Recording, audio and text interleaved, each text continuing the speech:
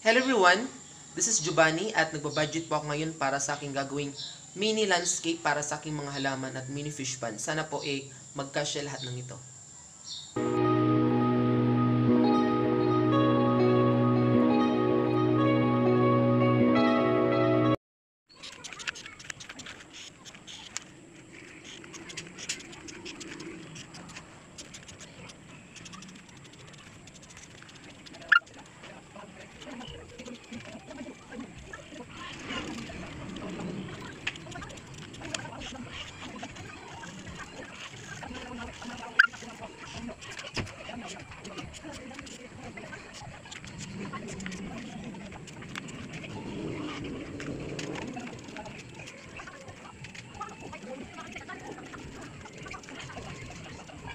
Ito po yung mga nagbuhat, si Gian at si Poblio.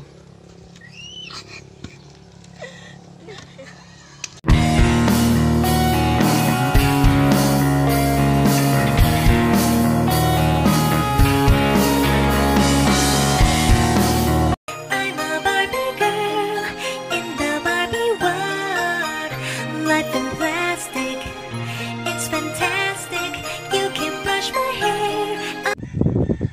Mayroon kaming sobrang bakal, mga 9mm, 10mm at 12mm.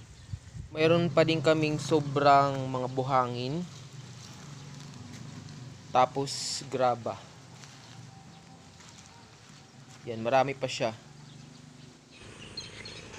Yung aso namin si Shimin excited sa gagawing fish pond at falang hollow blocks para sa landscape. Shimin!